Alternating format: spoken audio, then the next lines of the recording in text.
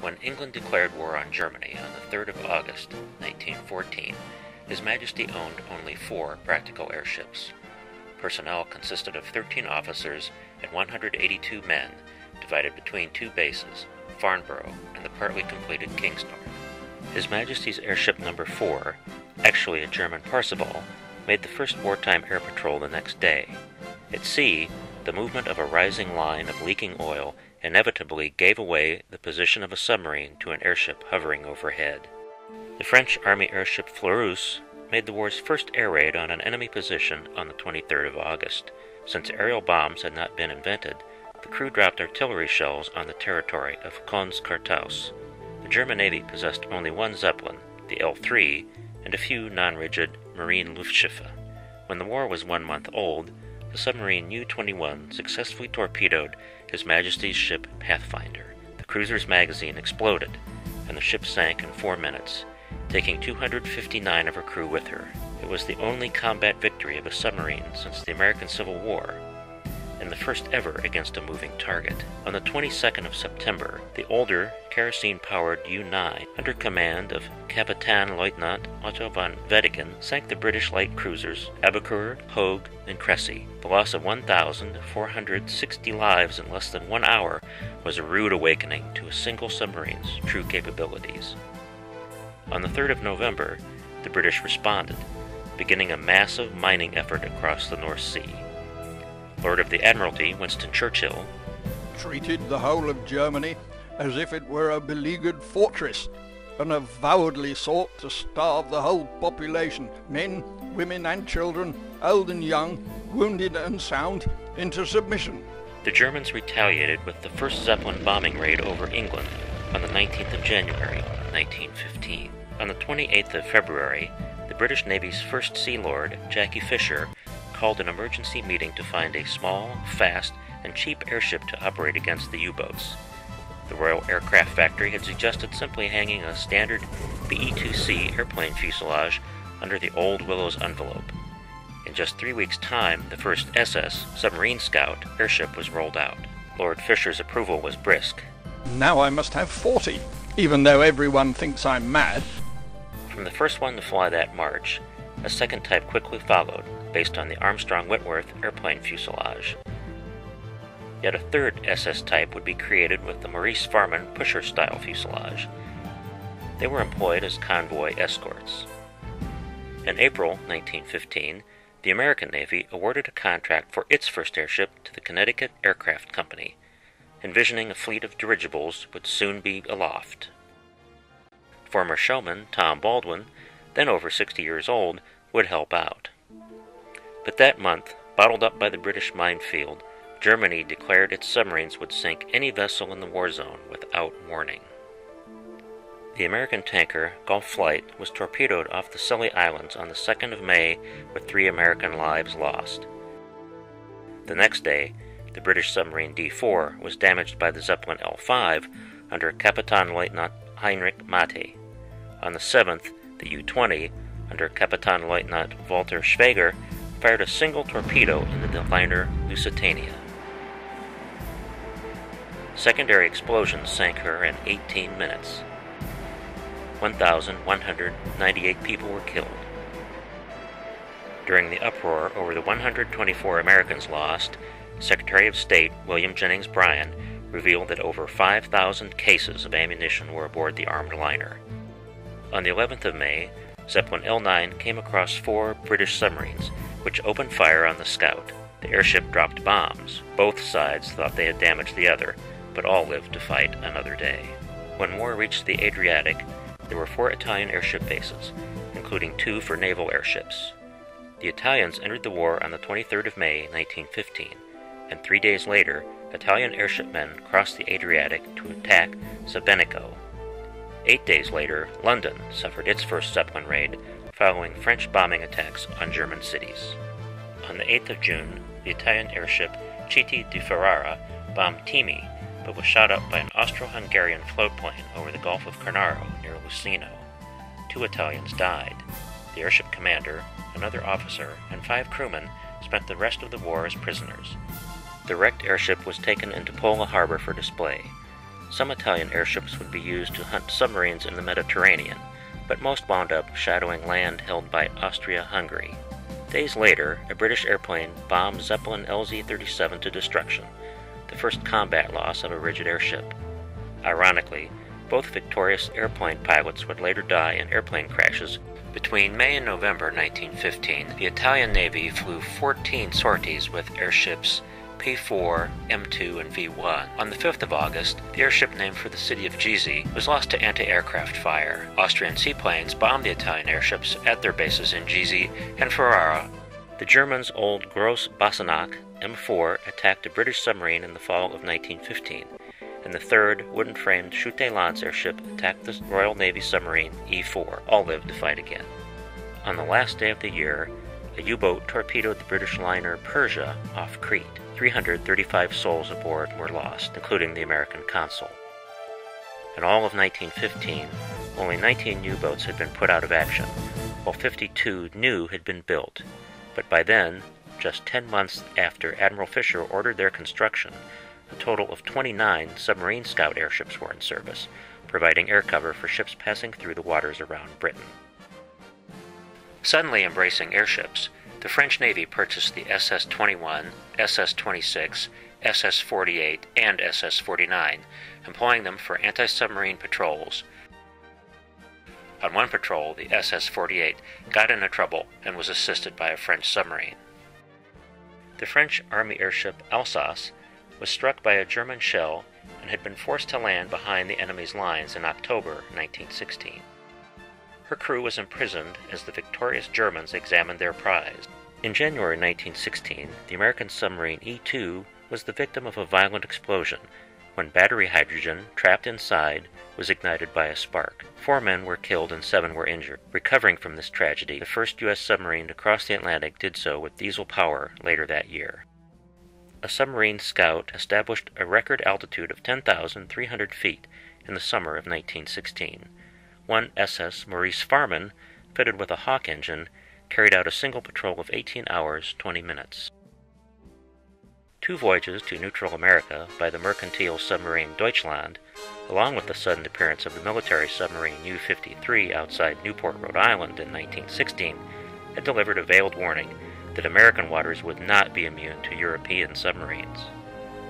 Desire to progress beyond faltering individual efforts led the U.S. Army and Navy to form an unusual alliance. The Joint Army Navy Airship Board tasked the Aluminum Company of America to duplicate the strong, lightweight alloy used in Zeppelins. Meanwhile, the Navy's lowest bidder struggled to complete its first airship. The dirigible non rigid one, built by Connecticut Aircraft, would have to be erected in a National Guard armory. A specially designed floating hangar for it was built at Pensacola, Florida. The DN-1 would later emerge for a few unimpressive flights. Returning home from England, American Lieutenant John Towers told of seeing the small dirigibles the British called blimps. He suggested that the American Navy build a similar airship. The overcomplicated DN-1 was scrapped. On March 24th, the French passenger ferry Sussex was torpedoed, killing 50 people. President Woodrow Wilson threatened to break diplomatic relations with Germany. On May 14th, Germany issued the so called Sussex Pledge, promising no more passenger ships would be attacked without warning. Back in England, the new pusher style SSZ airships gave three man crews a more comfortable, boat like car instead of an adapted airplane fuselage. A 100 horsepower, water cooled engine drove a four-bladed propeller to push the 70,000 cubic foot ship through the air. The gasoline was carried in aluminum tanks attached by fabric slings to the envelope. In all, 77 SSZ airships would be built. The inexpensive airship's growing numbers were eventually supported by some 60 bases around the United Kingdom. France would purchase two of these advanced SSZ airships, the 21 and 22. Lessons had been learned from the SS ship built on the pusher airplane body. The forward cockpit offered excellent visibility and a clear gun firing arc. The radio operator was seated amidships, and the engine mechanic had good access to the engine, whose fumes and hot exhaust were well behind the crew. Engine magnetos were a constant problem. since they could no longer be obtained from Bosch in Germany. English built magnetos often had to be changed in flight, sometimes with mechanics standing, freezing on the handrails all the way back to base. Taking over the remaining eight Army airships, the French Navy operated from four airship bases on coastal patrols from the Channel south, soon establishing a base in Bizerta in northern Africa. France would purchase two of the advanced SSZ airships, the 21 and 22. Later on, the twin engined SS twin airship design increased reliability. 100,000 cubic feet of hydrogen lifted the wider SST car, built to carry five crewmen ahead of its pusher propellers. To create an even more capable airship, two Avro seaplane bodies were joined and hung under an Astra Torres design envelope of 170,000 cubic feet. This new coastal or C class airship could carry larger bombs on long duration patrols. The coastal featured a machine gun post atop the hull, accessible by ladder in a sleeve through the envelope. Air Marshal Sir Thomas Elmhirst remembered his first night flight in the C 19. On looking astern, I saw all manner of red hot bits from the engine exhaust carried back under the gas bag to the big gas valve right aft, which occasionally opened and released inflammable hydrogen. Also, we were not very keen on flying in thunderstorms.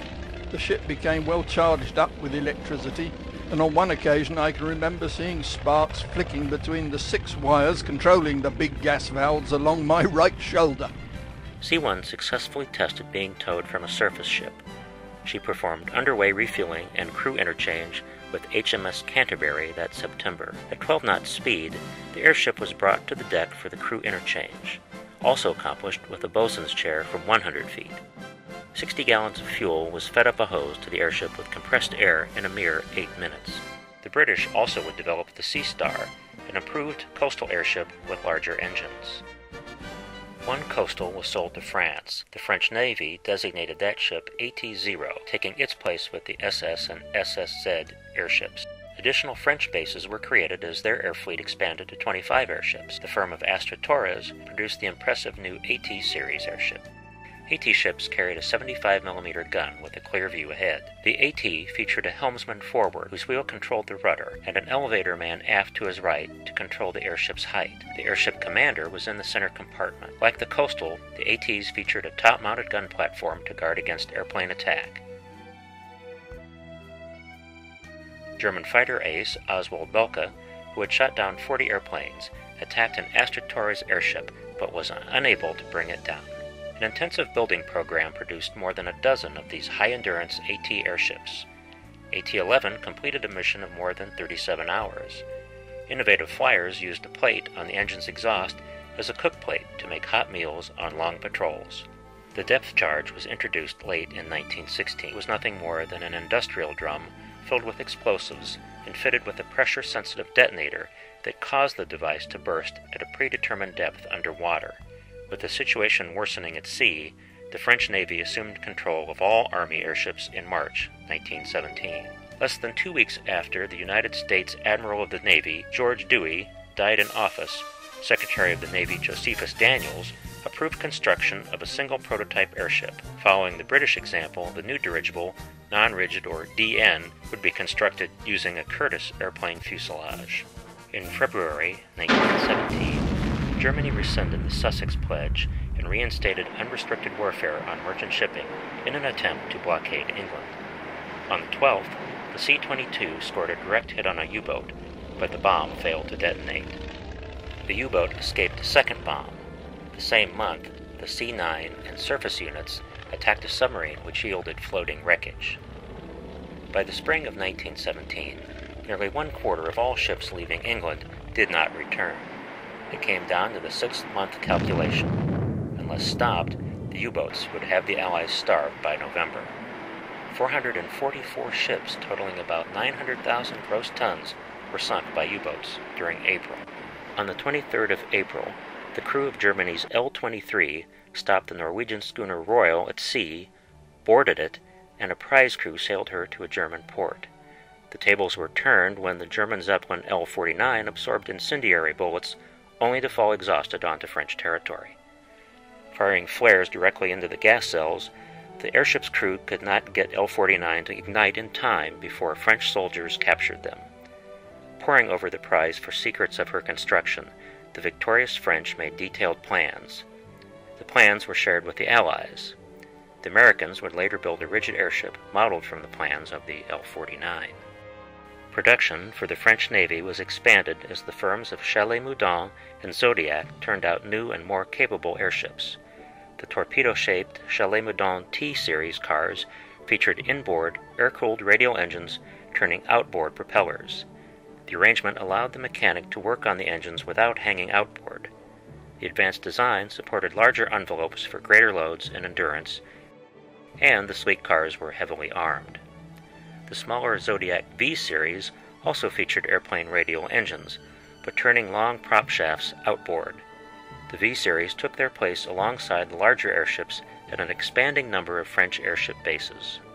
The success of the German rigid airship had revitalized efforts toward a British rigid that had been stopped a second time. As an interim measure, the giant non rigid North Sea class was conceived. The 360,000 cubic foot hydrogen envelope was pushed to 55 miles per hour by two Rolls Royce 250 horsepower engines. The cabin could accommodate two crews, and the ships would set new endurance records. British Air Vice Marshal P.E. Maitland later recalled his early service with the North Sea airships. During the remainder of May, we were very busy with patrols, without due incident, except that during a very heavy thunderstorm, we noticed sparks some five inches long jumping across our control wires. We wondered why the long lengths of wire inside the envelope did not produce a similar discharge, and as the hydrogen was highly inflammable, we were thankful that apparently they did not. On the 7th of May, the NS 3 dropped new 130 pound bombs on what was later shown to be a wreck. The expanding Allied lighter than air forces employed increasing numbers of young men in the long duration work that was airship flying. The countless hours of searching in vain for a submarine were rarely rewarded because the boat could see the airship coming a long way off. Airshipmen logged endless miles escorting convoys over large areas off the coasts, expanding into the Mediterranean. Traffic was logged, suspicious objects investigated, and mines reported for disposal. It was not unusual for blimp men to be asked to look for traces of airplanes that never returned. thousands starved, the frustrated Germans attempted to entice Mexico to invade the United States in exchange for returning Mexican territory lost in the Mexican American War. Word reached Washington. It was the last straw. President Wilson ended relations with Germany and stated war was inevitable. U.S. Navy Secretary Daniels ordered 16 new single engine airships without even testing a prototype. Contracts were placed in March for nine from Goodyear, five from Goodrich, and two from Connecticut Aircraft. The Chicago shed that had been home to the old rubber cows became home to dirigible, non rigid assembly. The first airship left Chicago on the 24th of May 1917, making a record distance flight to Ohio. Several of the one time exhibition balloonists went to work on the airship effort. Tom Baldwin became an inspector at Goodyear and Roy Knabenshue became a test pilot at Goodrich. The Bodie factory engineer Henri Julliot had come to America to join Goodrich. Leo Stevens became an Army aeronautics instructor. The Goodyear Tire and Rubber Company of Akron had already started construction of a hangar and hydrogen generator at Wingfoot Lake, Ohio. The Navy made a contract with Goodyear to train 20 men in ballooning and the operation of the coming dirigibles. The new scout dirigible, still designated DN-2, remained at Wingfoot for the next few months as the 1st Naval Airship Detachment under Navy Commander L.H. Maxfield was trained. American expertise and resolve would soon be tested.